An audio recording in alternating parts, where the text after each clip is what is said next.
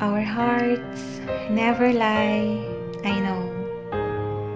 It's hard to admit what we really feel for each other, especially that our hearts have been broken many times. And we don't want to experience the same pain anymore. That's why we take it slow to the very core. We cannot deny the fact that we both like each other as we enjoy every moment together. And if only time allow us to meet at last, I'm certain we will truly enjoy our moment together. Our chemistry is almost perfect. It's crystal clear how the feelings are getting stronger every day. But we are wary of expressing our feelings, waiting who's gonna say it out loud first. I thought you were simply not interested and told myself that you were just bored, that you were just lonely, depressed, and sad.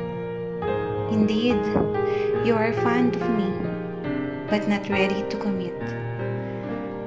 I know, I know from the start that it is a one sided love affair. I love you, but you don't feel the same way I do. All you wanted is a companion and an open relationship because your search is not over yet. And I know I'm crazy because I stayed. Because a part of me is hoping that it will be me. That one day you'll realize you'll see my worth. That my heart is pure and my love is genuine. You know well that you're my priority above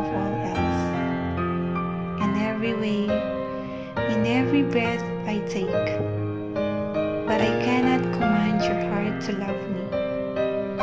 The thought of being in love shakes your senses to shut down. You once told me that you love me too, but your heart won't lie. My heart never lies. Our hearts never lie because they don't beat as one and why should we?